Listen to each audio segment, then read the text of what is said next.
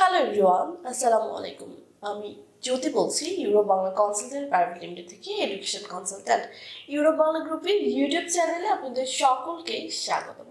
আজকে বেসিক্যালি আমি আপনাদের সাথে কথা বলব ইউএসএ নিয়ে। এখন দেখা যাচ্ছে যে এইচএসসি রেজাল্ট হয়ে গেছে। ব্যাচেলার প্রোগ্রামে বা মাস্টার্স প্রোগ্রামে অনেক স্টুডেন্টই আছে যারা আসলে ইউএসএ নিয়ে অনেক বেশি ইন্টারেস্টেড সো ভাবলাম ছোট্ট করে ইউএসএ নিয়ে একটা ভিডিও বানিয়ে ফেলা যায়। আবার অনেকেই আছে আমাদের কাছে আসে যে, আপু, আমি ইউএসএ তে যেতে চাচ্ছি। সো অ্যাডভান্স আমি কি প্রিপারেশন নিতে পারি? সো এগুলো নিয়ে টুকটাক কথাবার্তা বলার জন্য বেসিক্যালি আজকের ভিডিওটা করা।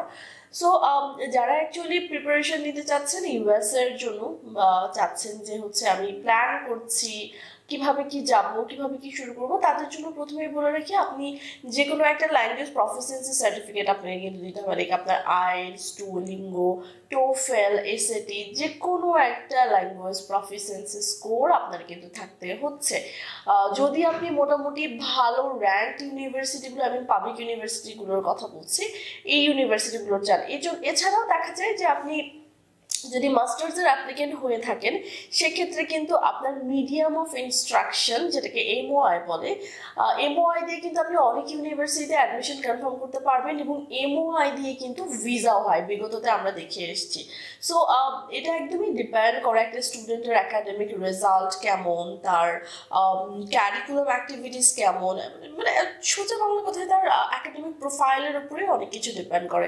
মাস্টার্সদের অ্যাপ্লিকেন্টদের যেহেতু সরি ব্যাচেলার্সের স্টুডেন্টদের যেহেতু কোনো এমওআই সার্টিফিকেট হয় না, সেক্ষেত্রে কিন্তু আমি শুরুতেই যেটা বললাম যে কোনো একটা ল্যাঙ্গুয়েজ প্রফিসিয়েন্সে স্কোর থাকতে হচ্ছে মাস্ট হ্যাভ এটা গেল ল্যাঙ্গুয়েজ প্রফিসিয়েন্সির দিক থেকে এবং ইনিশিয়াল প্রিপারেশন হিসাবে আপনি এটাই নিতে পারেন এবং অনেকেই দেখা যায় যে কান্ট্রি নিয়ে কোনো মিনিমাম রিসার্চ করে না। আমি তাদেরকে বলব যেহেতু আপনি আপনার দেশ থেকে আরেকটা কান্ট্রিতে যাচ্ছেন ওয়াইজ হচ্ছে, আপনি ওই দেশটা নিয়ে একটু ঘাটাঘাটি করলে দেখা যাবে ইউএসএ অনেক বড় একটা দেশ সো আপনার যদি কোনো পছন্দের প্রভিন্স থেকে থাকে সো আপনি আপনার পছন্দের প্রভিন্স আমাদেরকে সাজেস্ট করলে, ওই প্রভিন্স অনুযায়ী ইউনিভার্সিটির লিস্ট আমরা আপনাকে প্রোভাইড করে দিব। সেখান থেকে আপনি চাইলে ইউনিভার্সিটি সিলেক্ট করে আমাদেরকে দিলে আমরা অ্যাপ্লিকেশন প্রসেস স্টার্ট করে দিতে পারব আপনার জন্য। এবং ইউএস এর জন্য কিন্তু আপনার তিন মাস, চার মাস পর পরই ওদের সেশন থাকে।